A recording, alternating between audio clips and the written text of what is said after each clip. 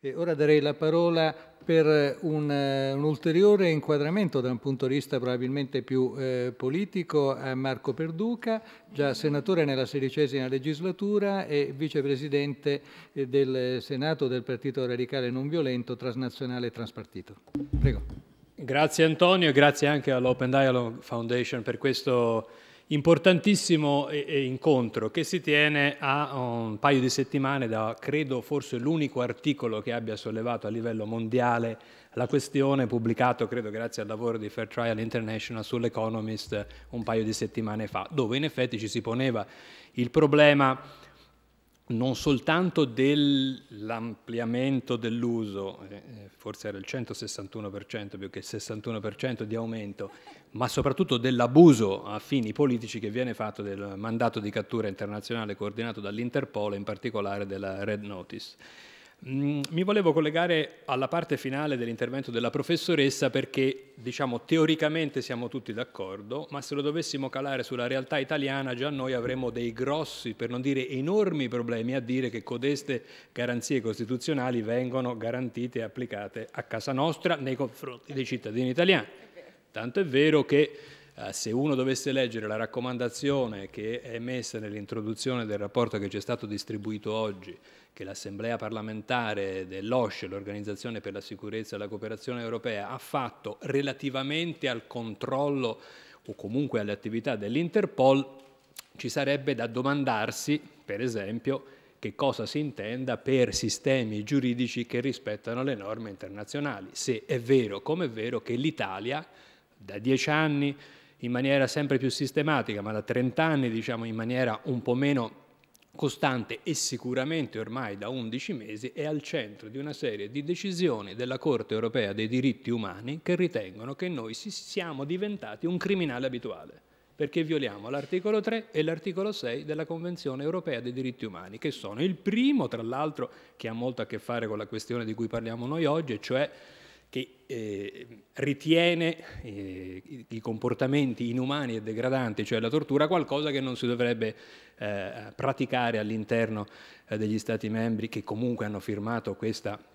eh, convenzione e che riconoscono la giurisdizione della Corte europea. E il secondo è per l'appunto la ragionevole durata dei processi, l'articolo 6, che mi pare di capire ancora una volta in teoria dovrebbe essere garantita a tutti e quindi a maggior ragione anche a chi si trova in condizioni di essere difeso in maniera più difficoltose anche perché non ha accesso a, possibilità di fornire delle prove e quindi l'Italia in teoria è un paese verso il quale è problematico riuscire ad assicurare delle estradizioni. Lo dico perché io venerdì scorso, anzi due venerdì fa, ero a Londra in tribunale, invitato dalla difesa di un cittadino che aveva il problema opposto all'assistito eh, della professoressa, che eh, essendo stato in Italia per un determinato periodo di anni, eh, andato poi in, in, a Londra, era ricercato per traffico di esseri umani, terrorismo, per poi arrivare al problema fondamentale che era frode fiscale, perché aveva organizzato un sistema di trasferimento monetario eh, sulla base della tradizione islamica, in particolare quella somala, che in Italia avrebbe dovuto essere registrato, avere partita IVA, avere fatto tutte le dichiarazioni di antimafia, nel Regno Unito invece no. Lui si trovava nel Regno Unito quando è stato raggiunto da questo mandato di cattura italiano da dal GIP di Firenze, perché eh, agiva tra Firenze e Prato, e gli italiani hanno, chiedo scusa, l'avvocato di difesa di questo uh, somalo in Inghilterra ha fatto un giro su internet e ha visto che eh, a gennaio di quest'anno è stata adottata una sentenza da parte della Corte europea dei diritti umani, cosiddetta sentenza Torrigiani, eh, che è divenuta addirittura sentenza pilota attraverso la quale la Corte europea dei diritti umani ha detto Italia, tu violi tante belle cose, ma sicuramente nel caso di specie erano sette persone che si erano riunite e quattro di questi eh, ricorrenti erano difesi da degli avvocati penalisti radicali, la possibilità di garantire il minimo spazio vitale all'interno del circuito penitenziario che proprio a essere diciamo, generosi mm, nei confronti dello Stato membro è di almeno 3 metri quadri, mentre invece l'Italia non ne garantisce nemmeno 2,6 e quindi questa è una violazione dell'articolo 3 della Corte europea dei diritti umani. Ma non lo fai solo nei due istituti penitenziari da cui vengono le eh, lamentele di queste sette persone, lo fai strutturalmente e sistematicamente in tutti e 202, 208, non si è mai capito quante siano le prigioni in. Quindi io sono stato convocato a Londra come expert witness per dire che cosa succede in effetti in Italia. E avendo passato la scorsa legislatura per metà nella Commissione Giustizia e avendo visitato decine e decine di istituti penitenziari nel mio tempo libero, ho raccontato in aggiunta alla sentenza Torreggiani, in aggiunta al, messaggio del Presidente della Repubblica, in aggiunta all'audizione della Ministra della Giustizia, eh, in Commissione Giustizia della Camera di eh, metà ottobre tutto ciò che diciamo, è più noto a chi segue queste questioni anche dal punto di vista militante piuttosto che dal punto di vista istituzionale e il 12 di dicembre sapremo se eh, l'Inghilterra ritiene che in Italia vi si, si, pratichi un trattamento inumano e degradante nei confronti dei detenuti. Ora questo è chiaramente un caso che si basa su una sentenza di una giurisdizione internazionale riconosciuta da tutte le persone coinvolte, tranne che dal povero Somalo, ma che comunque ha dei riscontri e anche dei passaggi formali. Nel caso, nei casi che sono stati fatti, e noi eh, recentemente ci siamo interessati con maggiore attenzione, ahimè però con il ritardo, e poi magari si potrà parlare anche di questo, del caso della Shalabayeva deportata, perché così credo si debba dire, eh, il primo di giugno di quest'anno in Kazakistan, in un contesto in cui, eh, oltre ai problemi formali che erano stati sollevati, eh, si sconta l'altro problema che c'è all'interno dei ministeri della giustizia, di sicuro, all'interno dei ministeri degli interni, laddove questi sono competenti della pubblica sicurezza altrettanto, e purtroppo per certi versi anche all'interno dei ministeri degli esteri, che è l'inclusione, o come si dice in eh, burocratichese internazionale, il mainstreaming dei diritti umani all'interno di qualsiasi cosa, perché a questo punto di qualsiasi cosa stiamo parlando, c'è sempre un lato che interessa il rispetto dei diritti umani, che sono chiaramente in questo caso quelli, tutti quelli che hanno a che fare con la libertà individuale dovunque ci si trovi nel mondo. Ora però, in, se neanche, lasciamo da stare da una parte il Consiglio d'Europa, che in effetti è un, è un gruppo molto vasto e molto più eterogeneo di quanto non possa essere l'Unione Europea, ma se neanche all'interno dell'Unione Europea noi siamo riusciti ad armonizzare una, ci stiamo tentando in questi ultimi mesi, diciamo, a trovare una uh, normativa comune o armonizzata relativamente all'asilo, tanto che addirittura in Italia noi abbiamo una legge che non esiste, diciamo, di fatto, o che non è sistematizzata in modo tale da poter dare delle garanzie, se non altro di tempistica certa nei confronti di chi fa eh, richiesta, è chiaro che tutto ciò assume una dimensione che da un piccolo caso di specie avrebbe dovuto, attaccando tutti questi elementi che stiamo toccando dal primo all'ultimo intervento e anche i prossimi sicuramente ci aiuteranno, far scoppiare un dibattito politico enorme, non tanto sul funzionario del Ministero degli Interni italiano, che sicuramente da qualche parte c'è e da qualche parte se non di basso, di alto livello, è responsabile di aver o mal gestito o gestito veramente molto bene la questione.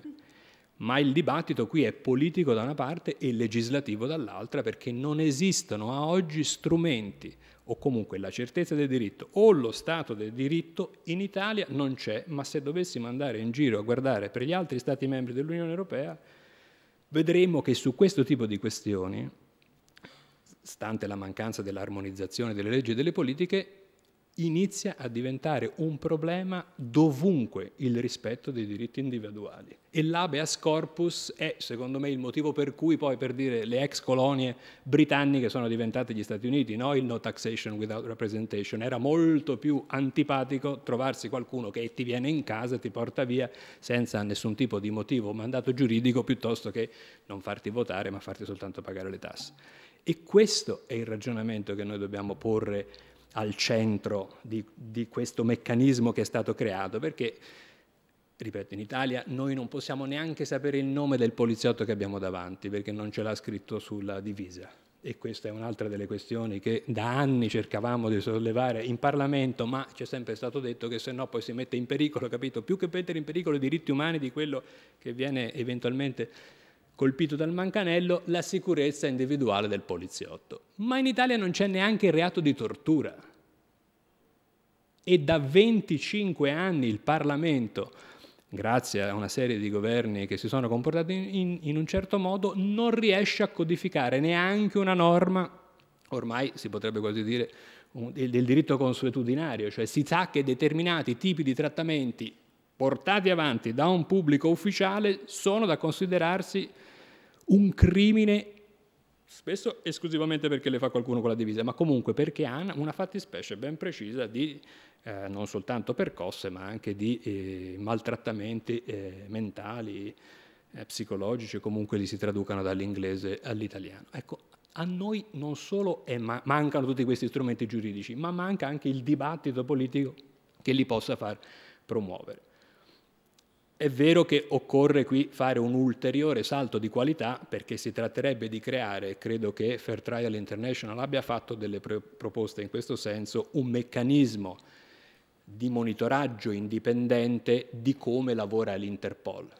Intanto ricordiamoci che l'Interpol, cioè il segretario generale, che è la stessa persona da 13 anni e mezzo, che voglio dire, poi sono sempre americani, per carità, tutte persone che hanno una tradizione specchiata di rispetto dei diritti umani, ma quello è lì come un re,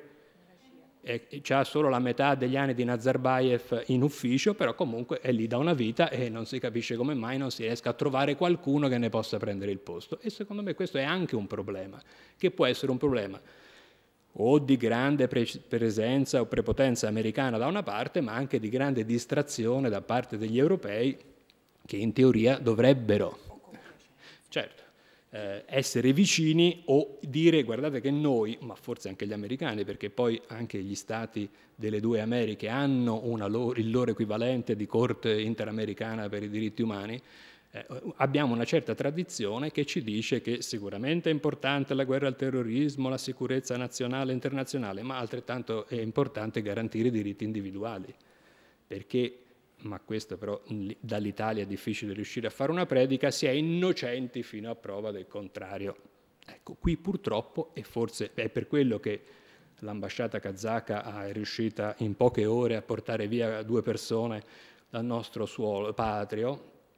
qui si è sempre colpevoli e poi si vedrà dopo come va a finire quando sei dietro le sbarre. Fortunatamente né eh, Alma eh, né Alua sono dietro le sbarre, ciò non toglie che non sono più libere di fare quello che vogliono in un paese dove eh, non, non, possono vivere e non possono agire. Che cosa quindi occorre mettere al centro del, del futuro, facendo tesoro di questi casi e sperando che la Spagna, per esempio, non risponda positivamente al Kazakistan?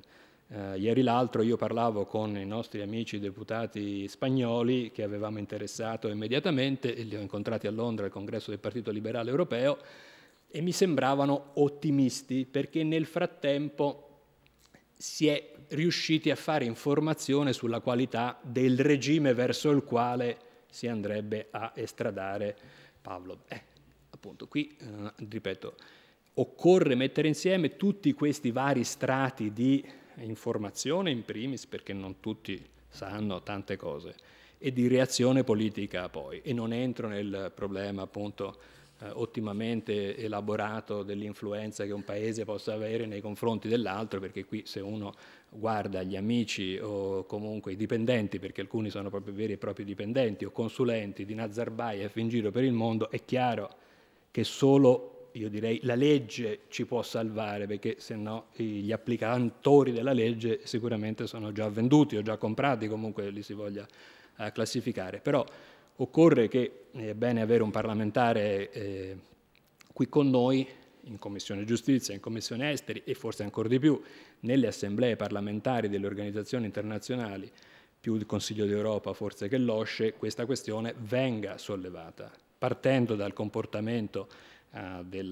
dell'Ucraina, partendo dalla Russia. Noi abbiamo ospitato Browder più volte in Parlamento italiano, Browder è uno degli altri casi uh, che in qualche modo si è riuscito a salvare solo perché è stata creata una campagna mondiale per evitare che eh, dovunque atterrasse ci fossero subito quelli con le manette per portarlo poi a Mosca.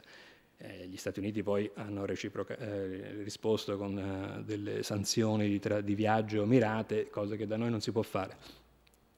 Uh, però occorre sollevare il problema. Uh, tra l'altro non fa parte del Consiglio d'Europa perché è sospeso, ma anche la Bielorussia non si fa mancare niente questo, quando si, si, tratta di uh, congelare, per non dire di peggio, le opposizioni o l'opposizione democratica nei confronti di questo tipo di regimi. Per quanto ci riguarda, posto che appunto eh, eh, i contributi tecnici sono ottimi, posto che però teniamo, oltre al testo bisogna tenere sempre anche di, di, conto il contesto, perché l'Italia è un problema per conto suo per quanto riguarda l'amministrazione della giustizia, la risposta politica secondo me va in due direzioni. Da una parte, ripeto, includere le problematiche legate ai diritti umani in qualsiasi foro o occasione di contatto bilaterale e multilaterale e dall'altra però porsi il problema del controllo dell'Interpol. È vero che non si controllano facilmente neanche le polizie a livello nazionale, però insomma non tentare non mi pare la migliore risposta rispetto alla gravità della situazione che può venire a crearsi perché tra pochi giorni tra l'altro sapremo cosa dirà la Francia eh, relativamente a Bliasov. Grazie.